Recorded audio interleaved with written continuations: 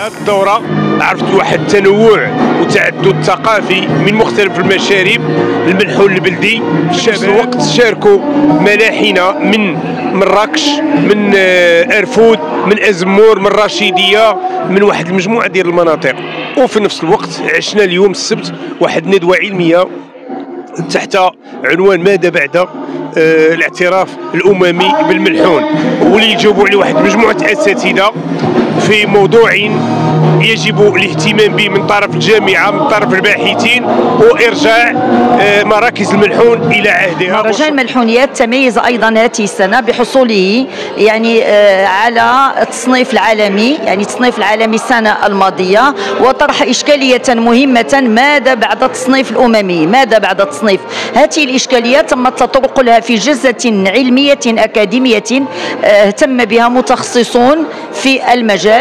وحاولوا آه، ملامستها من خلال نقط ثلاث. النقطة الأولى ألا وهو التعريف. التعريف بهذا الملحون وبهذا التراث الذي يمثل عبق التاريخ. آه، النقطة الثانية من خلال توثيق توثيق مجموعة من ال من ال من ال الأشعار النظمية الملحونية حفاظا لها من الضياع.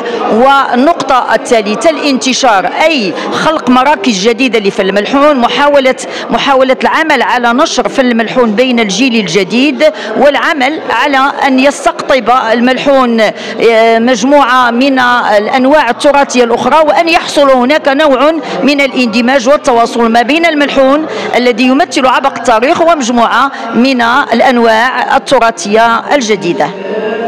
طبعا آه، المغاربة كلهم ابتهجوا بتصنيف آه، الملحون تراث إنساني عالمي.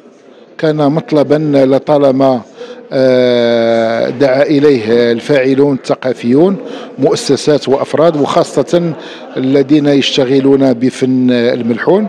هذا المطلب اليوم بعد أن تحقق يتعين وضع استراتيجية دقيقة من طرف وزارة الثقافة ومن طرف أكاديمية المملكة المغربية حتى يكون لهذا آه، الاعتراف الأممي امتداد في المجتمع وفي الحياة وخاصة أن يكون هناك امتداد داخل المنظومة التربوية وداخل الجامعة المغربية. فنرى الملحون يدرس في مختلف الأسلاك التعليمية ونرى يحدث له كرسي داخل الجامعة المغربية وتخصص له الأطاريح النقدية الكفيلة بإبراز جوانب الشعرية لهذا الفن العظيم. تصنيف الملحون تراثا لا إنسانيا فرض ولوج عالم جديد من التناول للملحون. هذا العالم الجديد في طرحي الخاص هو اولا تجاوز كل ما تمت تمت مراكمته من معطيات حول تاريخ الملحون النشأة الرجال الحقة بالزاهية في الملحون وغيرها المضامين النماذج البلاغية والإبداعية. الآن الزمن يقتضي خطابا جديدا. هذا الخطاب يجب أن ينطلق أساسا من علاقة التصنيف بهذا الملحون. ذلك أن هناك معايير في التصنيف تمت مراعاتها.